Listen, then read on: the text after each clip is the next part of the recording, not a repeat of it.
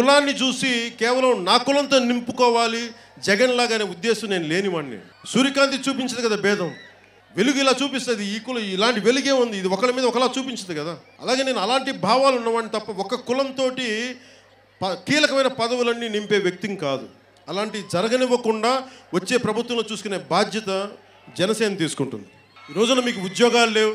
ఆంధ్రప్రదేశ్ని పట్టి పీడిస్తున్న ఈ వైసీపీ మహమ్మారికి మీకు ఉద్యోగాలు ఇవ్వని వైసీపీ మహమ్మారికి ముప్పై వేల మంది ఆడపిల్లలు రక్షణ లేకుండా వదిలేసిన ఈ వైసీపీ మహమ్మారికి రెండు వేల పంతొమ్మిది ఆలయాలను కూల్చేసిన ఈ వైసీపీ మహమ్మారికి పురోహితుల్ని వేల వేల వేసిన ఈ వైసీపీ మహమ్మారికి రెండున్నర లక్షల ఉద్యోగాలు నిరుద్యోగులకి మొండి చూపించిన వైసీపీ మహమ్మారికి రైతాంగానికి కన్నీరు పెట్టిస్తున్న వైసీపీ మహం మహమ్మారికి వీటన్నిటికీ ఒకటే వ్యాక్సిన్. జనసేన టీడీపీ వ్యాక్సినే వైసీపీ మహమ్మారికి మందు. వైసీపీ గుర్తు ఏంటి మీరు చెప్పండి? ఫ్యాన్. ఆ ఫ్యాన్ తిరగదు. తిప్పుదామంటే కరెంటు ఛార్జీలు ఎక్కువ. ఫ్యాన్ అంతంత దూరం ఉంటుంది వైసీపీ ఫ్యాన్. కానీ జనసేన గ్లాస్ చూడండి. గొంతుకి దాహం తీరుస్తుంది జగన్ జనసేన గ్లాస్. అలాగే మన తెలుగుదేశం సోదరులు ఉన్నారు. వారి సైకిల్ని ఒక పాయింట్ ఏ నుంచి పాయింట్ ఒక ప్రాంతం నుంచి ఒక ప్రాంతం తీసుకెళ్ళగలదు నేలకు అంటు పెట్టుకుని ఉంటుంది సైకిల్. గొంతుకి దాహం తీర్చగలదు. జనసేన గ్లాసు. ఈ రెండు కలుస్తున్నాయి. ఈ వైసీపీ మహమ్మారిని తన్ని తరిమేస్తే ఆంధ్రప్రదేశ్ రాష్ట్రం నుంచి. ఆ సీలింగ్ ఫ్యాన్ కరెంట్ ఎక్కడ ఎప్పుడు ఆగిపోతుందో తెలియదు పోనీ ధైర్యం వేసి వేద్దామా అంటే పెరిగిన పెరిగిపోయిన ఖర్చులు. ఆఖరికి మనకి ఫ్యాన్ ఏం చేశాను మనం మన ఆంధ్రప్రదేశ్ అభివృద్ధిని వైసీపీ ఫ్యాన్కి ఉరేసేసాం నేను కష్టకాలంలో చాలా కీలకమైన పరిస్థితులు తీసుకుంటాం అడ్వర్సిటీ రివీల్స్ ట్రూ క్యారెక్టర్ అంటారు. నీ ప్రతికూల పరిస్థితుల్లోనే నీ గుణగణాలు బయటపడతాయి. నువ్వు ఎవడి పక్షం అని నేను ఎవ్వరికి లేకుండా నేను ఒక్కనే వెళ్ళిపోవచ్చు. బీజేపీతో పాటు వెళ్ళిపోయి ఉండొచ్చు. కానీ అది ఓట్లు వస్తాయి. కానీ ప్రభుత్వాన్ని స్థాపించే ఓట్లు వస్తాయా? లేదంటే గెలుపు అంచుల దాకా వచ్చే ఓట్లు వస్తాయో నాకు తెలియదు. ఎంతమంది అసెంబ్లీకి వెళ్తామో తెలియదు. నేను ఈసారి రెండు వేల ఇరవై నాలుగు ఎన్నికలకి నేను ఛాన్సెస్ తీ తీసుకోదలుచుకోవాలి నా కోసం కాదు మీకోసం వాళ్ళని అధికారంలోంచి కిందకు దించటమే జనసేన లక్ష్యం. సుపరిపాలన కొత్త ప్రభుత్వం. జనసేన తెలుగుదేశంతో ప్రభుత్వమే ఉంటుంది కొత్త రాబోయే ప్రభుత్వం. ఎందుకంటే ఓట్లు చీలిపోయి ఇంకొకసారి ఆంధ్రప్రదేశ్ ప్రజలు ఆ తప్పు చేయరు తప్పు చేయకూడదు కూడా ఇంకా. మీరు ఒక్క అవకాశం ఇస్తే ఈరోజు రాష్ట్రాన్ని ఏ స్థాయికి పట్టుకెళ్ళిపోయారో తెలుసు. జగన్ లాగా డబ్బు పేరుకుపోయి అధికార మతంతో వైసీపీ నాయకులు ఉన్నారు. వాళ్ళని ఎలా ఎదుర్కోవాలో కూడా నాకు బాగా తెలుసు. నిన్న వింటా ఉన్నాను. రాష్ట్ర ముఖ్యమంత్రి జగన్ గారు ఇది కురుక్షేత్రం. అటో ఇటో తెలుసుకుందాం యుద్ధం మొదలైంది. కురుక్షేత్ర యుద్ధం అని అంటా ఉన్నారు. సంతోషం. కాకపోతే వాళ్ళు కౌరవులో పాండవులో వాళ్ళు తెలుసుకోవాలి ఎందుకంటే నేనైతే వాళ్ళు కౌరవులే అనుకుంటున్నాను మీరు కురుక్షేత్ర యుద్ధం అన్నారు కాబట్టి వంద మందికి పైగా ఉన్నారు కాబట్టి మీరే కౌరవులు నేను అనుకుంటా ఉన్నాను. కురుక్షేత్రం అనే పదప్రయోగం మీకు నచ్చకపోతే కింగ్ జేమ్స్ బైబిల్లో చెప్పినట్టుగా డేవిడ్ అండ్ గొలాయత్ అనే కథ తెలిసి ఉండదు చాలామందికి.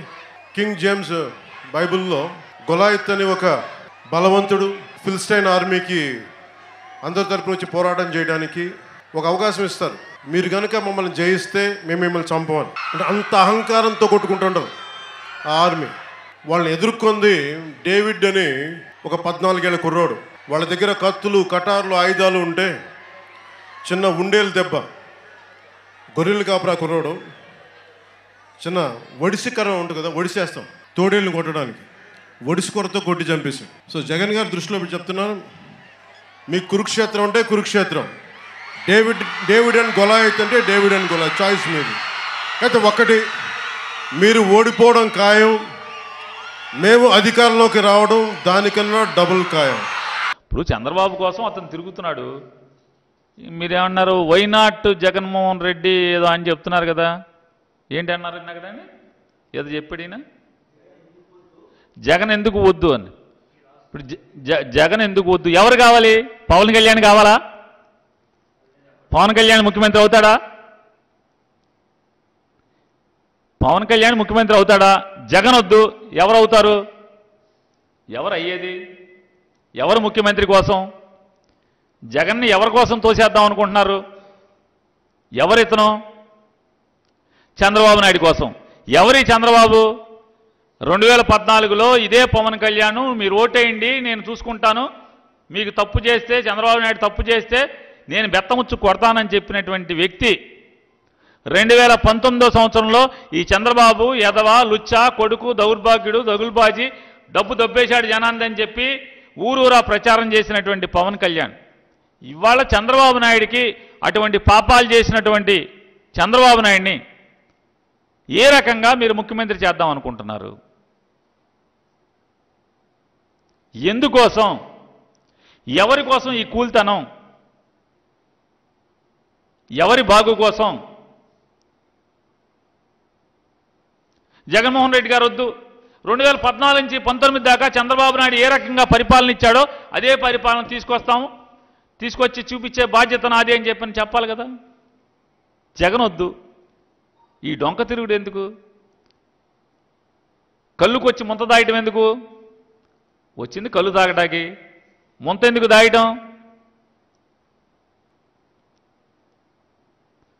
ఇప్పుడు పాపం చంద్రబాబు నాయుడు కోసం అష్ట కష్టాలు పడుతున్నాడు. ఎన్నో బాధలు పడుతున్నాడు. ఏమా చాకరీ చేస్తున్నాడు. అతను కూడా ఎన్ని కష్టాలంటే అటుపక్క షూటింగు ఓజీ షూటింగ్ మళ్ళీ ఇక్కడికి వచ్చి చంద్రబాబు సేవ మళ్ళీ అటుపక్కకి వెళ్తాం మళ్ళీ అటుపక్క హరీష్ శంకర్ సినిమా మళ్ళీ అక్కడ నాలుగు రోజులు కొడతాం మళ్ళీ ఇక్కడ రావటం చంద్రబాబు సేవ ఈ సేవ సినిమా సేవ సినిమా చచ్చిపోతాడు సేవ చేయలేక. పాపం చాలా కష్టపడుతున్నాడు చంద్రబాబు కోసం. ఇరవై సీట్లు తీసుకుని ఒక ఇద్దరో ముగ్గురో మంత్రులు తీసుకుని ఓ రెండు రాజ్యసభలు తీసుకునే దానికి ఈ- అడావుడి అంతా. జగనొద్దు చంద్రబాబు ముద్దు. దేనికి ముద్దు? రెండు వేల పంతొమ్మిదిలో రోత అన్నావు కదా జుగుప్స్ అన్నావు కదా మళ్ళీ ఏంటి ముద్దేంటి ఆ రోతకి ఈ ముద్దుకి ఏంటి కారణం? రహస్యం ఏంటి? జనం అమాయకులు కాదంటున్నాను నేను. అది పాత రోజుల్లో అంటే ఊరికినే పేపర్లో రాశారు కాబట్టి జనాలు తెలియదు ఇవాళ ఛానల్స్ టీవీ ఛానల్స్ వచ్చేసినాయి. నిన్నేం మాట్లాడాము ఇవాళ ఏం మాట్లాడాము రేపు మన ఆలోచన ఎట్లా ఉండబోతుంది? నేను చెప్పా కదా మామూలుగా ప్లేట్ కొట్టకుండా ఊరికి ఇట్లా నవ్వుతా నుంచుంటే ఆయన పక్కలో పొడిచి ప్లేట్ కొట్టించుకునే అవి కూడా కనపడుతున్నాయి కదా. ఈళ్ళ అయిపోతుంటే ఇటు పక్కనోడు ఇట్ట కొట్టి ఈలైరా టీవీ కనపడుతుంది ఈలయ్యమని చెప్పి ఇట్ట కొడితే అటు ఈలయ్యటం ఒక నిమిషం మళ్ళీ ఆపటం. అంటే ఇంత చిన్న చిన్న విషయాలే సూక్ష్మమైనవే ప్రజలు చూస్తున్నప్పుడు. రెండు వేల పద్నాలుగులో నువ్వేం మాట్లాడావు? పంతొమ్మిదిలో ఏం మాట్లాడావు? తర్వాత ఏం మాట్లాడావు? బీజేపీని అప్పుడు వద్దు బీజేపీకి ఓటేయండి మోడీ తీ అన్నావు. తర్వాత మోడీ చేదెందుకు అన్నావు? పాచిపోయిన లడ్డు అన్నావు. ఇవాళ మోడీ ఎందుకు వద్దు? మోడీ కన్నా చంద్రబాబు ఎందుకు తీపి? ఇవన్నీ ప్రజలకు తెలీదా? లోకేష్ దొంగ అన్నావు. నీ కొడుకుతే దో నీ నీ కొడుకు గజ్జి దొంగ అన్నావు. చంద్రబాబుని నీ గజ్జి దొంగ నీకు తెలిసే దొంగతనాలు చేస్తున్నాడా? తెలిసి చేస్తే నీది కూడా పాపాలే అని మళ్ళీ వాళ్ళ ఇద్దరిది దొరికిన గజ దొంగ దగ్గరికి వెళ్ళామో జైలుకి నేల మీద పుల్లాడతావు జైలుకి వెళ్ళామో నేను మీ ఇద్దరం కలిసి పోటీ చేసేస్తున్నాం అని చెప్తావు వావి వరుసలు బంధాలు బీజేపీతో బంధంలో ఉంటావు. ఇక్కడేమో వీళ్ళతో నేను పోటీ చేస్తున్నానంటావు. కాబట్టి పవన్ కళ్యాణ్ అనే అతను చంద్రబాబు నాయుడు అధికారం అందించడం అనేటువంటి లక్ష్యంతో పనిచేసేటటువంటి ఒక రాజకీయ నాయకుడు. కాబట్టి అతను ఏం మాట్లాడాడు? మీ ఊరు వచ్చాడు మీ ఊరు రాలేదు. ఇదంతా ఎందుకు? దాని గురించి ఎందుకు? ఏదో ఊరు వెళ్తాడు వెళ్ళకుండా ఎట్లా ఉంటాడు? కాపులు ఎక్కడెక్కడ ఉన్నారో? ఇప్పుడు కృష్ణా జిల్లాలో అవినిగడ్డ బందరు పెడన కైకిలూరు. ఏ ఈ నాలుగే ఎందుకు? ఏ ఈ నాలుగే ఎందుకు? జనం అమాయకులా? కులరహిత సమాజం కోసం మాస్యం అవినీతి రహిత సమాజం అవినీతి రహిత రాష్ట్రం అవినీతి రహిత ప్రభుత్వం మాస్యం. ఓ పడక్కనేమో దొరికిన దొంగ పచ్చి దొంగనేమో వెళ్ళామో మద్దతు పగులుతావు. దొంగను అరెస్ట్ చేయకూడదు అంటావు దొంగను అరెస్ట్ చేసినందుకు జగ్గపేటలో రోడ్ల మీద డొల్లాడతావు. ఆ దొంగ దగ్గరికి వెళ్ళామో మేము ఆ దొంగ కలిసి పోటీ చేస్తామని చెప్పి జైలు బయటకు వచ్చి చెప్తావు. లోపల ఒప్పందం మాట్లాడుకొచ్చి కులరహిత సమాజం అని చెప్పని కాపులు ఎక్కడుంటే అక్కడికి వెళ్ళి మీటింగ్లు పెట్టే పరిస్థితి. ఏంటిది? ఈ కమ్మారున్న చోట ఎందుకు వెళ్ళవు? బీసీలను చోట ఎందుకు వెళ్ళరు? కాపులను చోటకి ఎందుకు? అమాయకులా? కాపుల అమాయకులా? ప్రజల అమాయకులా? మమ్మల్ని అందరం తీసుకెళ్ళి తాకట్టు పెడతాకి సిద్ధంగా ఉన్నామని తెలుసు కదా? చెప్పే ధైర్యం కూడా లేదు. ఎస్ నేను చంద్రబాబు కోసం పనిచేస్తున్నానని చెప్పే ధైర్యం కూడా లేదు కదా ఆయన దగ్గర? నాకు ముఖ్యమంత్రి అక్కర్లా నాకేం లేదు. చంద్రబాబు కోసమే నా లక్ష్యం చంద్రబాబు కోసమే నేను పనిచేస్తానని చెప్పని చెప్పే ధైర్యం కూడా లేదు కదా.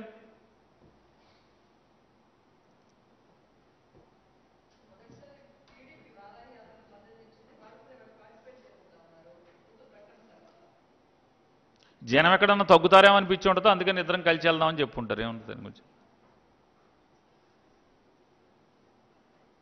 చంద్రబాబు ఏ రూట్ ఇస్తే ఎక్కడ ఏ ఊరు వెళ్ళమంటే ఆ ఊరు వెళ్తాడు ఆయన. ఎక్కడ అనుమానం వచ్చి ఉంటుంది వీళ్ళకి? జనం పలుచుకుంటారేమో పదని ఎందుకు వచ్చింది మంచిదని చెప్పి ఎలక్షన్ దగ్గరికి వస్తున్నాయి కదా. ఆ జనం ఈ జనం కలిసి వెళ్దాంలే అని చెప్పుకుంటారు ఇక అంతకు మించి వేరే కారణాలు ఏముంటాయి నిన్నటిదాకా ఎందుకు రాలేదు ఇవాళ ఎందుకు వస్తా అంటున్నారు? వారాహి ఇవాళ మొదలెట్టలేదు కదా. ఇప్పుడు దాకా ఎందుకు రాలేదు? ఇప్పుడు ఎందుకు వస్తా అంటున్నారు? అంటే నేను ఏంటంటే పవన్ కళ్యాణ్ కంటే చంద్రబాబు నాయుడు కంటే నాకంటే జగన్ గారి కంటే కూడా ప్రజలు చాలా తెలివైన వాళ్ళు వాళ్ళకి అన్నీ తెలుసు ఎవరెవరు ఏంటి అనేది